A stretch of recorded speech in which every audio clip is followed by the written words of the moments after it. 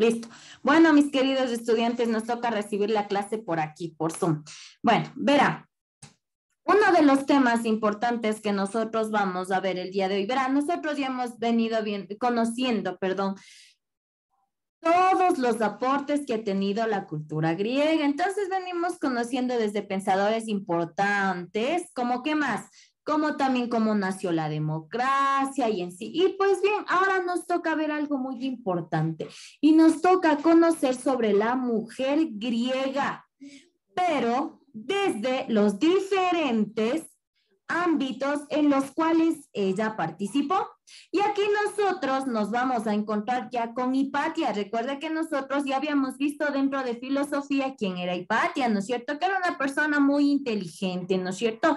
Pero que también no se le permitía pensar mucho. Vamos a conocer también sobre Safo, Apacia de Mileto, es decir, el rol de la mujer en Atenas y Esparta. ¿A qué se, a qué se dedicaba cada una de ellas, en otra palabra, su protagonismo social. ¿Qué es lo que hizo? ¿Qué aportes trajo consigo para la sociedad? Vamos a empezar.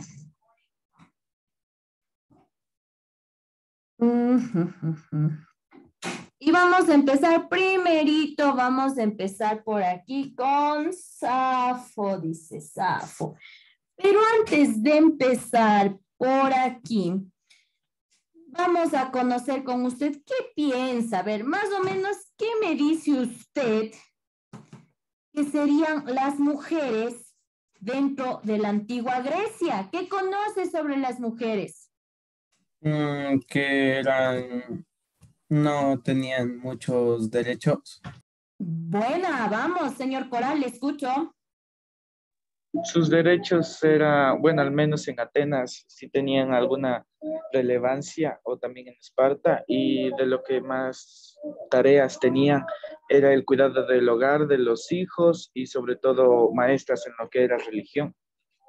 Perfecto, ¿qué más? ¿Qué más? Vamos por ahí. Señor Martínez, le escucho. Se tomaba en cuenta para pláticas, eh, como por así decirlo, importantes, no podían votar, no podían ser electas hacia la presidencia. Eh, tenían prohibido, por así decirlo, opinar, ya que ellas opinaban y no lo tomaban en cuenta. Ya, muy bien. De los nombres que yo le he dado, ¿a cuál de ellas conoce algo más o menos de ellas? ¿Qué conoce de ellas? De los tres nombres que le di de las mujeres importantes, ¿de cuáles de ellas conoce algo? Safo, de Hipatia, de Aspia, de Mileto. ¿De cuál de ellas conoce algo? Cuénteme, ¿de cuál de ellas conoce alguna situación? A ver, cuénteme.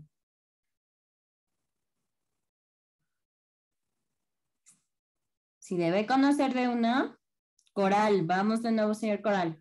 Solo de Hipatia y sus conocimientos y algunos inventos en lo que es astronomía y el canon astronómico que escribió ella.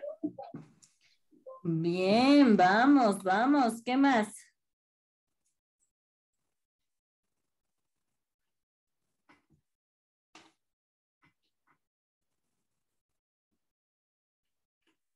¿Qué más conocemos? Señor Hidalgo, me pedía la palabra. De Hipatia se conoce ya que nos explicó en la clase de filosofía que era una chica que era muy inteligente, pero no, no, no le daban el derecho a que ella opine y dar sus, sus conclusiones. Perfecto. Bueno, verá, vamos a empezar así, ¿no? Vamos a enmarcarnos dentro de Grecia. Necesito que se traslade su mente a Grecia. Entonces, nosotros vamos a decir que dentro de la antigua Grecia era un mundo en el cual solamente los hombres eran quienes dominaban el ámbito político, social de los estados. Por favor, irame poniendo atención y irase grabando y tomando nota de ser posible, por favor. Lógicamente, el mapa conceptual usted tendrá que hacerlo en base a las diapositivas, pero siempre sacando, siempre sacando anotaciones. No se olvide ya. Eh, dicen, el organizador igualmente le hacemos horizontal. Sí, mijo, horizontal. Entonces, ¿cómo lo construirá ah, horizontal? A ver, le explico para que tenga una idea. Pone el cuaderno de manera horizontal y más o menos le tiene que quedar de la siguiente manera el organizador. Observe, observe, observe, Lógicamente aquí, en la parte de aquí arriba, lógicamente, ¿cuál será el título? Mujeres protagonistas de la historia. Aquí abajo irá una pequeña introducción de lo que yo le estoy diciendo. Y en estos cuadros, ¿quiénes irán? En estos cuadros irán quiénes? Safo, Hipatia y... Safo, Aspasia de Mileto e Hipatia. ¿Me hice entender cómo tiene que quedarle el mapa? ¿Sí? Perfecto, ya. Entonces nosotros decimos en primera instancia que dentro de Grecia solamente los hombres eran quienes dominaban el ámbito político y social de los estados, es decir, la mujer no, no podía formar parte de estas situaciones. Vamos a decir aquí que especialmente en Atenas las mujeres se destacaban, ¿por qué? por sus arreglos personales. ¿Por qué? Porque eran consideradas, ¿cómo eran consideradas? Ellas eran consideradas seres inferiores. Es por eso que ellas se destacaban simplemente solo por arreglarse, es decir, por más bonita que esté, es lo que contaba. Pero ellas no podían participar dentro del ámbito político solamente, solamente ellas se encargaban de qué? De las responsabilidades del hogar. Es decir, se dedicaban de lleno a cuidar de su hogar, a cuidar que su casa esté limpia, que sus hijos estén cuidados, que la comida esté preparada para cuando su esposo lleguen. Bueno, vamos a decir también que algunas otras mujeres tenían algunos otros oficios, pero siempre asociados a esta situación. Por ejemplo, la fabricación de prendas de vestir era uno de los más comunes dentro de la época. Muy bien. Vamos, ¿Qué más podríamos decir? Vamos. Y ahora sí, nos vamos a enfocar en Atenas y nosotros vamos a decir que la sociedad ateniense era patriarcal y las mujeres aquí eran consideradas inferiores. Vea qué brutal eso, ¿no? ¿Cómo denigraban a la mujer? ¿Cómo consideraban que solamente el hombre era el inteligente? ¿Cómo consideraban que solo el hombre era capaz de tomar decisiones, que solamente él podía ser un líder? La mujer estaba completamente relegada de absolutamente todas estas situaciones. Es decir, la mujer, por eso se dice que aquí en Atenas, la mujer netamente en primera instancia dependía de un tutor. ¿Qué quiere decir? Dependía de su padre, de su esposo o de su hijo. Hasta ahí, ¿estamos claros? Sí.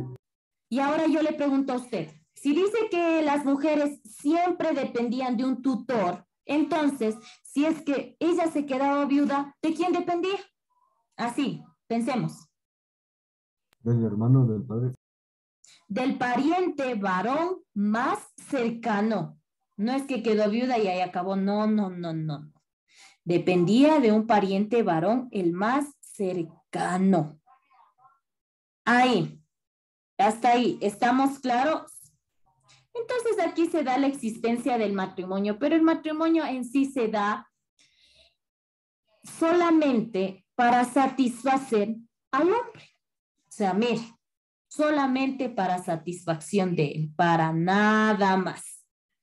Y aquí decimos nosotros que en Atenas solamente pocas mujeres lograban tener conocimientos en lo que es la ciencia, en lo que es la filosofía, en lo que es las artes. Solamente poquitas. Hasta ahí. ¿Estamos claras? ¿Claros? Listo, vamos. Entonces vamos con nuestra primera mujer importante, las mujeres griegas más destacadas. Y vamos con Safo es también conocida como Safo de los Lesbos. ¿Pero por qué? ¿Por qué cosa es conocida así? Irá tomando nota. Ya está empezando a armar usted su mapa conceptual. Ahorita ya debe estar empezando a armarlo.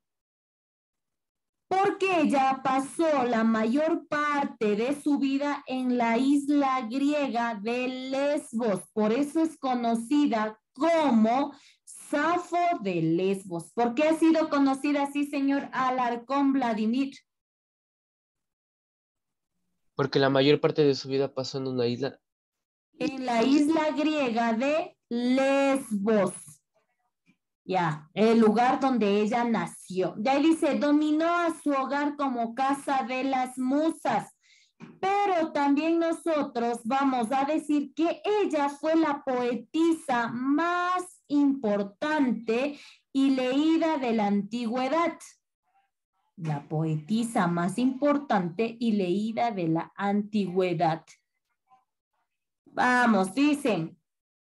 Allí funcionó una escuela para niñas donde aprendían que maneras sociales, poesía, canto y danza. Pero nosotros vamos a decir que esta escuela funcionó específicamente en Lesbos.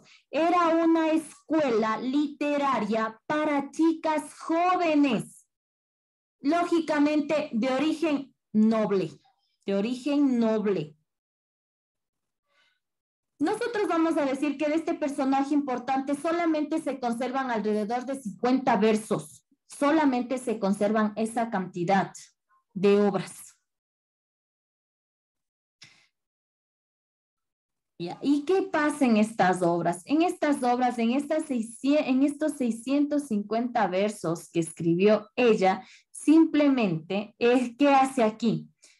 Canta, ¿no es cierto? Las íntimas alegrías y penas, ojo, y penas de sus amores. ¿Creando qué? Creando un mundo de sensibilidad y sentimientos. Hasta ahí.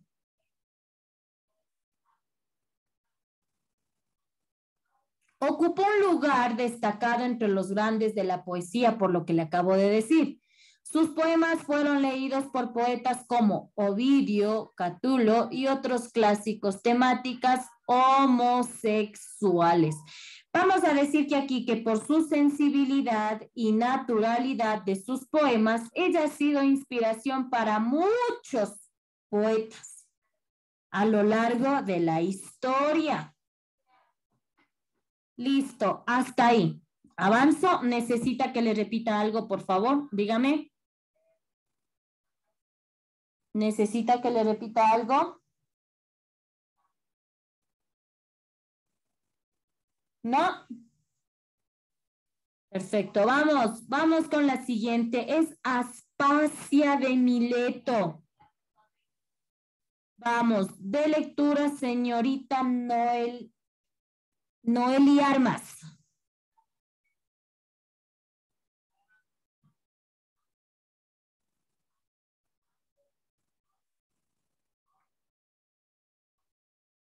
Alarcón Vladimir, de lectura, por favor.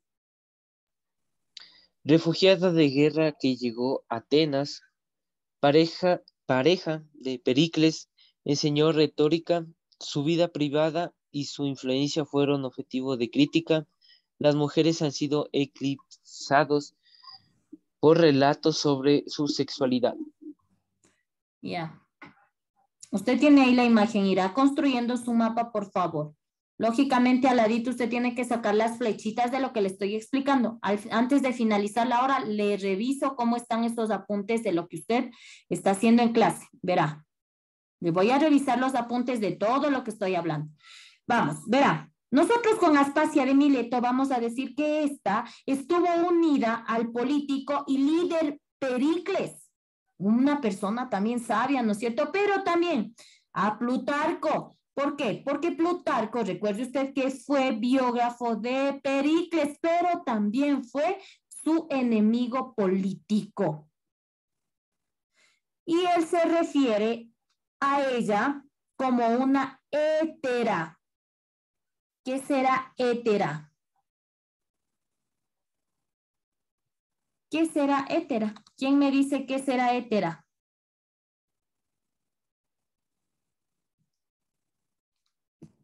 ¿Qué idea tiene de que sea hétera?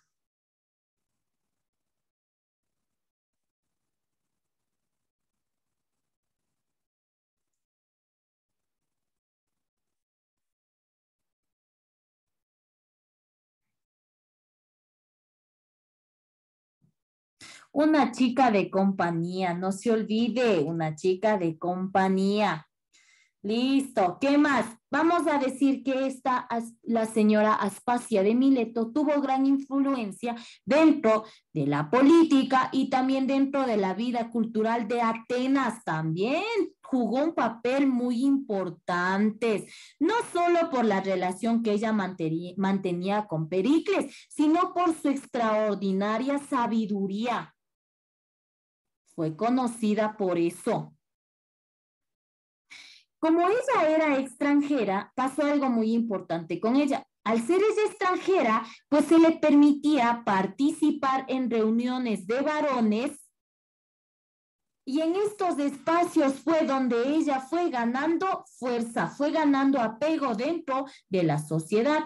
Su casa en sí fue un centro cultural. Un centro cultural. De hecho, de hecho, su nombre, el nombre de Aspasia de Mileto se encuentra, se encuentra eh, mencionado en los escritos de autores como Platón, Genofonte, Esquines Socrático, Antítesis.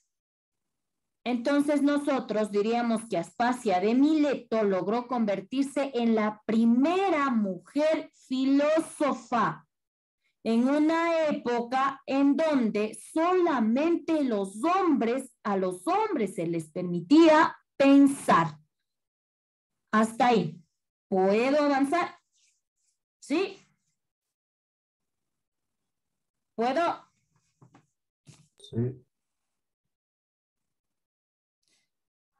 Listo. Eh, algo más que hay que decir de Aspasia de Mileto. Ella fue una demócrata ateniense ella también se encargó de enseñar lo que es la retórica y ella llegó a formar parte de círculos intelectuales y políticos de aquella época. Necesita que le repita algo, por favor. Profe, ¿puede explicar, por favor, lo de Pericles y el escritor? Eh, gríteme, mijo, porque no lo escucho. ¿Me puede explicar, por favor, lo de que fue pareja de Pericles y del otro del otro escritor. Ay, ay, ay, a ver, vea, nosotros en primera instancia decíamos que Aspasia de Mileto estaba, estuvo unida a quién? Al líder Pericles, también a Plutarco, pero Plutarco, ojo, ojo con lo que le digo, Plutarco solamente era el biógrafo de Pericles pero también se considera que él fue su enemigo político. Y él lo que hace es referirse a Aspasia diciéndole que era una hétera, es decir, una chica de compañía. Aunque actualmente eso, eso se duda en realidad de que se haya manifestado esta situación. ¿Por qué? Porque Plutarco tenía un sentido irónico para escribir sus obras o sus escritos. Ahí le dije que Aspasia de Mileto, ella tuvo una gran influencia en la política y en la vida cultural de Atenas, independientemente de la relación que ella tenía con Pericles. Ella fue conocida por su sabiduría. Por eso le dije que aquí, al ser ella una extranjera, a ella sí se le permitía participar en la reunión de varones. Y aquí es donde ella fue tomando más fuerza, ¿no es cierto? Aquí es donde ella ya se ganó su espacio, ¿no es cierto? Hasta ahí. ¿Estamos claros? ¿Desea que le repita algo más? ¿Sí? ¿No? Le dije, por favor, que Aspasia de Mileto también es una demócrata ateniense. Enseñó lo que es la retórica y llegó a formar parte de círculos intelectuales y políticos de la época. Me voy, me voy de aquí. ¿Puedo irme de aquí ya? Sí, me voy con Hipatia, que ya Hipatia le conocimos en filosofía, ¿no es cierto? El canon astronómico, ¿no es cierto? Una persona muy inteligente, una persona muy sabia, una persona, ¿no es cierto?, que con su fuerza se imponía, que trató de que de llegar muy lejos y que de ella no se tiene ningún escrito, pero sin embargo sus discípulos lo hicieron conocer, ¿no es cierto? Vamos, Hipatia, como usted ya sabe, ella nació en el 375, específicamente en Alejandría, por eso se le dice Hipatia de Alejandría. Ella estudió en Roma y Atenas, no se olvide, no se olvide. Y ahí, cuando ella estudió de ahí, es que ella regresa a su ciudad natal a enseñar lo que es la filosofía, la astronomía y las matemáticas. Hasta ahí. ¿Estamos claros? ¿Sí? Perfecto. Vamos, vamos, vamos. ¿Qué más? ¿Qué más podemos decir? No se olvide que nosotros decíamos que era Hipatia. Hipatia era hija de quién? ¿Quién me hace acuerdo? Vamos, ya vimos en filosofía. ¿Quién me hace acuerdo?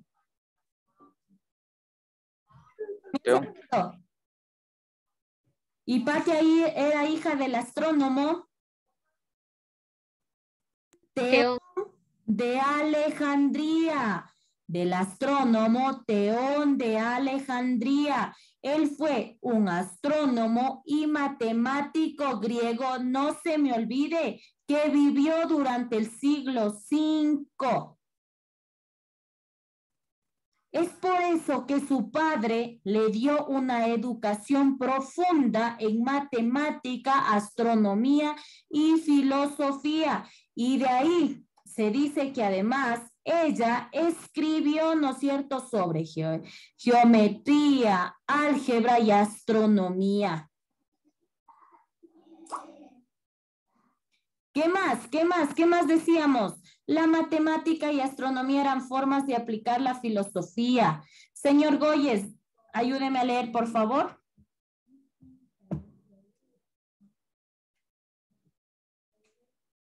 Goyes. Hipatia. Sí, le dicen, aquí estoy.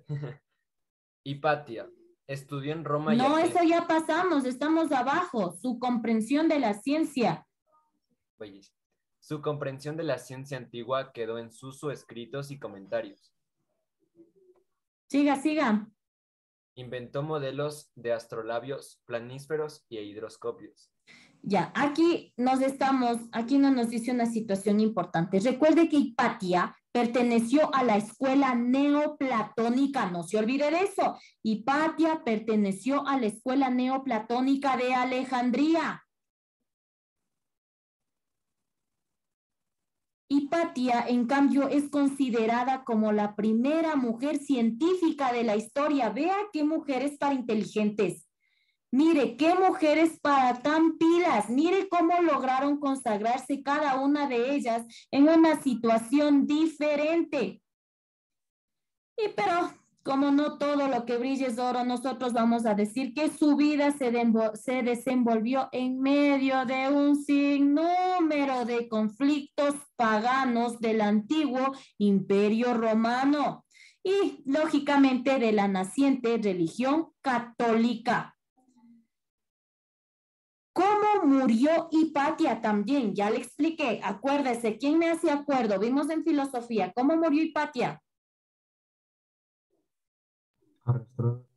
Apedreada, descuartizada y quemada.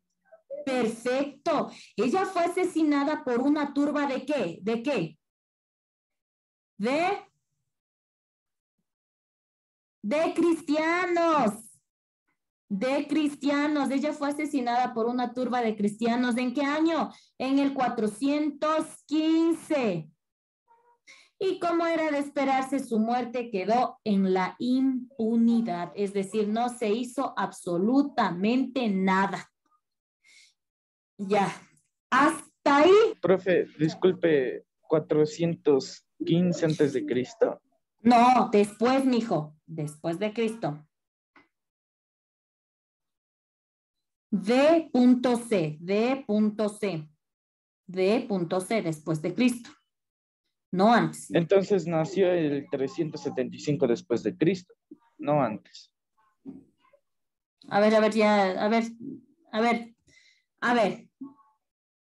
¿Cómo queda? A ver, ¿dónde me está preguntando, señor Coral? Ya me- Es que al principio cuando usted empezó a hablar de Hipatia dijo 375 antes de Cristo que nació.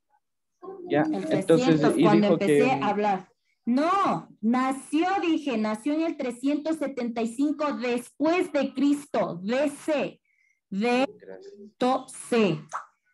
Yo iba a decir dónde. ¿Dónde, dónde? DC, D punto C. Listo.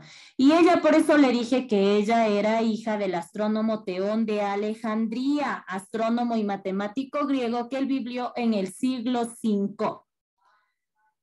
Ya, listo, vamos. Listo. Entonces, verá, hasta ahí hemos construido nuestro mapa. Entenderáme bien. El mapa debe quedarle así. Debe quedarle así. De esta manera debe quedarle su mapa. Muéstreme en pantalla, por favor. Muéstreme en pantalla cómo tiene los apuntes. Vamos, muéstreme. Ya, debe tener las tres. Perfecto, perfecto, señor Coral. Vamos. Ya quedamos de manera horizontal, señorita Aro Carla. O esos son los apuntes.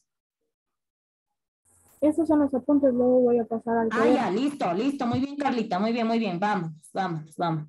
Ya, verá, hasta ahí hemos terminado esta partecita de aquí. Ahora, otro tema. Póngale en la siguiente hoja. Póngale en la siguiente hoja. Ya, déjele ahí las mujeres. Ya no me le tope ahí a las mujeres. Ahí terminamos con las mujeres más importantes de Grecia. Ahora vamos a ver de la mujer en Atenas y Esparta. ¿Qué es lo que usted tiene anotado dentro de sus contenidos programáticos? Sí, ya faltan cinco para acabar la hora. sí.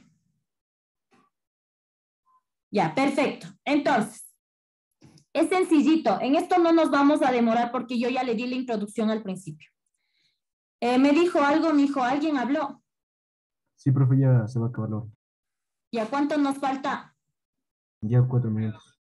Cuatro, si avanzamos en cuatro. Como esto no es tan profundo, déjeme, vamos a avanzar en esto. Solamente este le va a hacer anotación para abajo, no le haga mapa, solamente anotación vertical. ¿Me hago entender? Sí, ¿sí me entiende? Solamente anotación vertical, ya.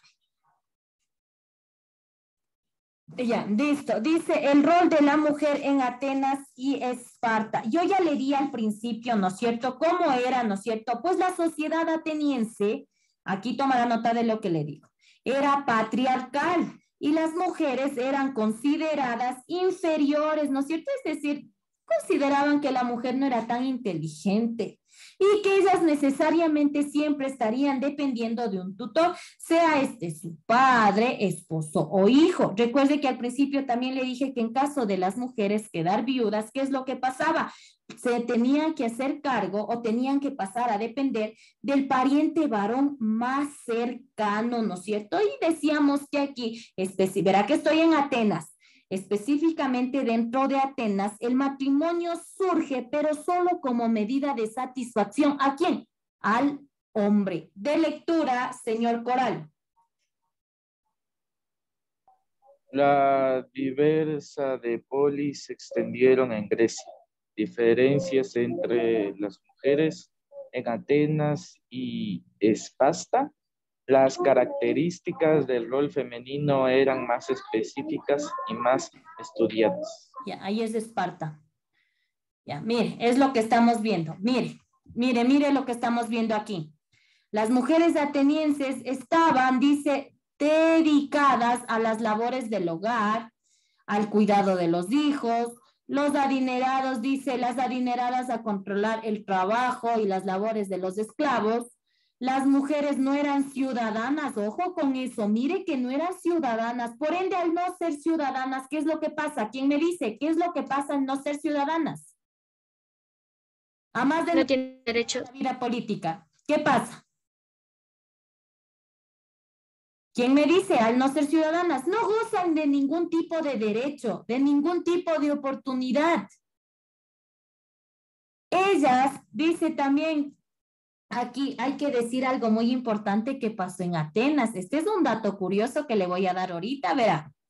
En Atenas, en Atenas también existían las llamadas héteras o etairas. ¿Quiénes eran ellas? ellas eran las damas de compañía, lógicamente de cultura superior, refinadas, ¿no es cierto? Educadas, muy bonitas. Hasta ahí, estamos claros. Ellas en su mayoría eran hijas de extranjeros. Ellas en su mayoría eran hijas de extranjeros. En otras palabras, estas mujeres se encargaban de dar servicio a quienes, a los hombres dentro de salones eh, de reuniones específicamente, donde conversaban de diferentes temas, entre ellos la filosofía, ¿no es cierto? Bueno, hasta ahí. ¿Claro? Sí. Y vamos, vámonos por aquí. Le necesito ver. Ah, Esparta. Ya, listo, se nos acabó la hora. Nos quedamos en Esparta, entonces, mis queridos estudiantes, que finalizaremos la otra hora de clases. O si desea, hágale una toma, una captura, que ya es facilito también. Recuerda que en Esparta, en cambio, tanto hombres como mujeres se educaban de manera igualitaria. La educación era obligatoria. Vamos, listo, mis queridos jóvenes. Quedamos hasta ahí entonces, quedamos hasta ahí, quedamos hasta ahí. Que les vaya muy bien, cuídense mucho, cuídense mucho, no salga de casa, no salga de casa. Un abrazo grande, nos vemos la siguiente hora clase, creo que tenemos, ¿no? No, sí. Eso. Chao, chao, chao, todos.